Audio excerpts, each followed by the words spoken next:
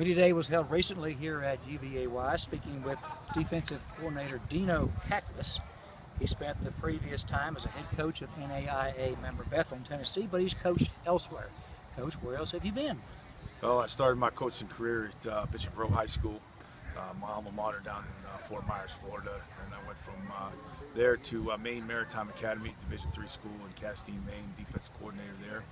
And I spent two years at St. Francis University, one AA school in Loretto, Pennsylvania, and then I went to uh, Bethel from there, and then the past two years I've been at Eastern Illinois. So you got the Eastern Seaboard covered. Yeah. What's your philosophy here as defensive coordinator here for UVA Wise? So we need to be fast, we need to be physical, we need to play smart, and we just have to have relentless effort.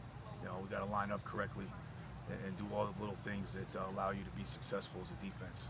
Of course, a good thing you have coming into this, you've got seven returning starters on defense. That's got to be a real, real big plus. Yeah, that's a plus. You've got some guys that have got game experience.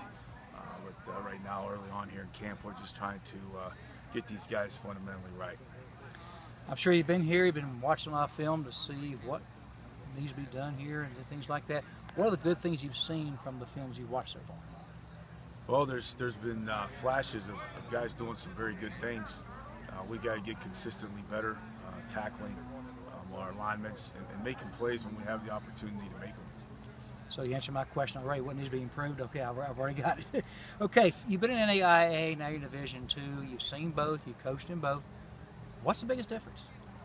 Well, um, the biggest difference obviously is you know scholarship amounts, and um, you know the depth is a little bit greater, um, and, and, the caliber of athlete is a little, a little higher.